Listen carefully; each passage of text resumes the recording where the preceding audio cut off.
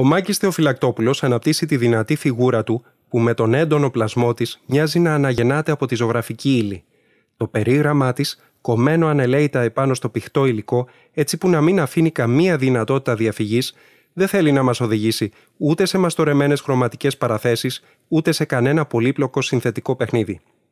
Πάντοτε όμως υπάρχει ένα ανθρώπινο νόημα που αρθρώνεται μέσα στις έντονες μορφές του Θεοφυλακτόπουλου, αξεδιάλυτα δεμένο με αυτές.